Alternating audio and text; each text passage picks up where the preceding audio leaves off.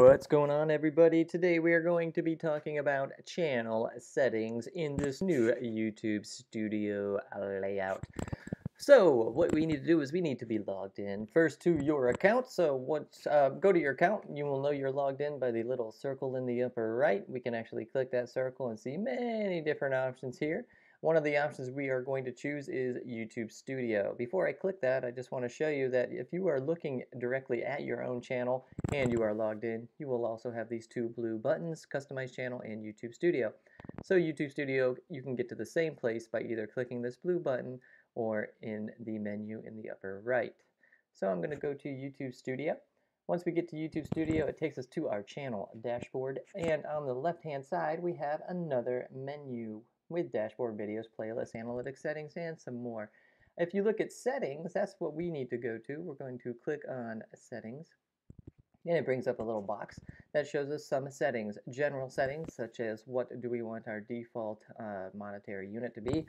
Um, and then we have channel. Now channel is pretty interesting and this is one that you do want to be aware of. When you go to channel, we have some tab, some different tabs here, basic info. And basic info is good because this is an area that you can add keywords related to your entire channel. You do want to make sure that you put some tags, keywords, um, in this area because this is searchable and this will let YouTube slash Google know what this channel is about.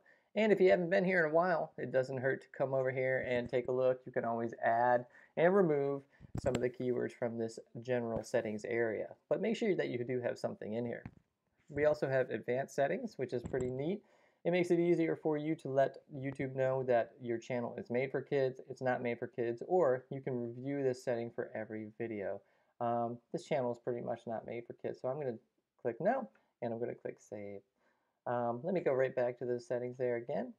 So we have channel, advanced settings, then we have branding. Branding asks if you want to use a watermark. I'll put that in another video. And then we also have featured eligibility, which is nice because it just shows you the features that you have below. There's default features, and it lets you know um, what are enabled. And then there are also phone verification features that I have already done this, and so it lets me know, uh, or excuse me, it lets me know that I have this enabled. Okay, so the other settings that we have over here on the left are upload defaults. I'm going to do a separate video about that. We have permissions, so we can manage permissions. You're currently managing channel permissions through a brand account, okay? And then we have the community area here where we can um, add moderators, we can approve some users, we can hide users, we can even block some words such as Viagra, Cialis, and if anybody wants to add a website, um, I tell them to block that. And I can even select if I want to block links. So I can turn that on and off and allow people to add links if they want. For right now, I'm going to keep it blocked, so all of this is uh, set the same.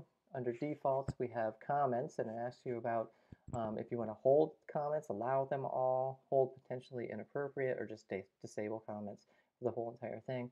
And we even have a live chat option that lets you hold potentially inappropriate chat messages for review.